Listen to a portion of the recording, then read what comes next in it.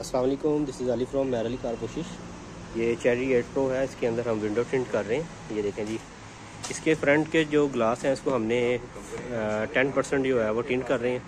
ये देखें, ये इसका फ्रंट शेड है टेन परसेंट और ये बैक शेड है, ये भी टेन परसेंट है।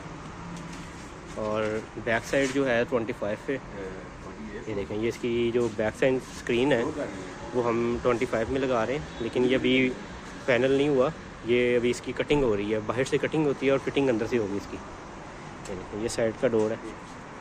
ये देखें, ये डोर भी बिल्कुल फाइनल हो गया बिल्कुल बबल फ्री है। तो आप भी अपनी किसी भी गाड़ी में टेंट करवाने के लिए हमारे फ़ोन नंबर पर रबा कर सकते हैं। थैंक फॉर वॉचिंग मैं अली कार कोशिश।